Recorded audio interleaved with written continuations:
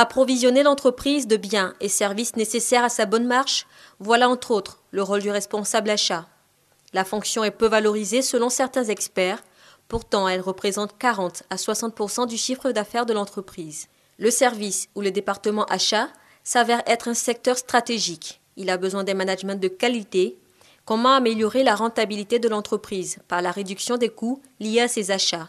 C'est tout l'intérêt de cette conférence prononcée à l'attention des responsables achats. Nous avons décrit les enjeux de cette fonction qui est aujourd'hui tout à fait euh, stratégique de par sa contribution sur les résultats de l'entreprise, sur son impact opérationnel. Choisir des fournisseurs, c'est faire des choix, prendre des risques, tout ça se cadre. Et nous avons vu les différentes méthodes qui existent aujourd'hui.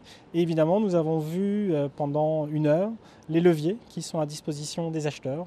L'achat intervient à tous les niveaux, que ce soit au niveau euh, BDP, c'est-à-dire construction, que ce soit au niveau des logiciels, que ce soit au niveau euh, des équipementiers. Donc c'est très important. L'initiative de cette conférence est le fait de l'Association des acheteurs et dirigeants achats et logistique de Côte d'Ivoire, ADALSI. Elle ambitionne de révolutionner ce domaine. Notre objectif, c'est de vraiment former des acheteurs et qui, vont, qui auront tous les outils les méthodologies, mais aussi le professionnalisme, afin de se mettre euh, au service de la performance financière dans, dans nos entreprises. Information, formation et échange sont autant de moyens que la DALSI met à la disposition des acheteurs et responsables achats et logistique.